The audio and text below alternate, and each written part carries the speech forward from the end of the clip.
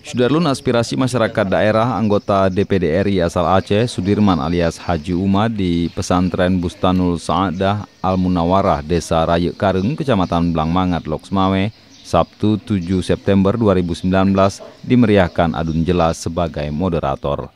Kegiatan tersebut dihadiri pimpinan pesantren Tengku Muhammad Yusuf dan Dewan Guru Pesantren serta sejumlah tokoh masyarakat.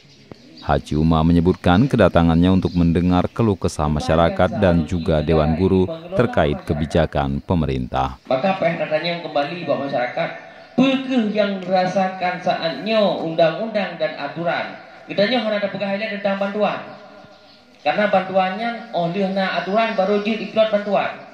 Punya aturan yang hanaga, tentu saja bantuan hanakan terus. Jadi kamu jino mantel dalam tahap nebeng bago jadi ketika kamu jak ke di pegah pengurusan, kalau kamu lampirkan, dia pegah le urungnya benar. Urung roh ke hansip SDM belum. Jadi kamu pikirnya pura hansip SDM. Rupa je kena kamu, pegah kamu hendak pikiran. Hansip BDN kan hendak pikiran.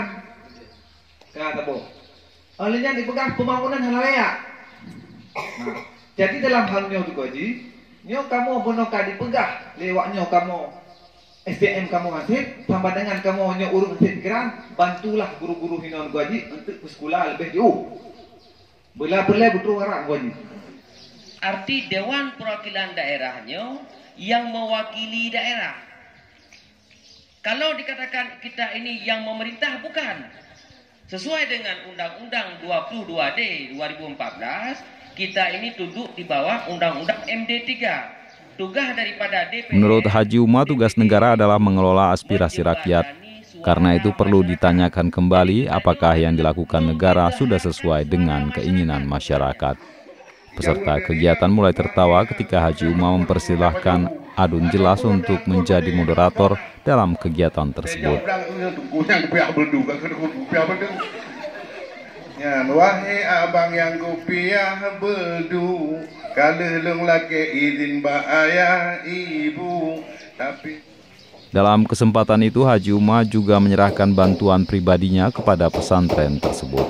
Setelah kegiatan selesai, Haji Uma diajak pimpinan daya untuk melihat dapur dan balai pengajian pesantren itu. Dari Loksmawe, Jafarudin, Serambion TV.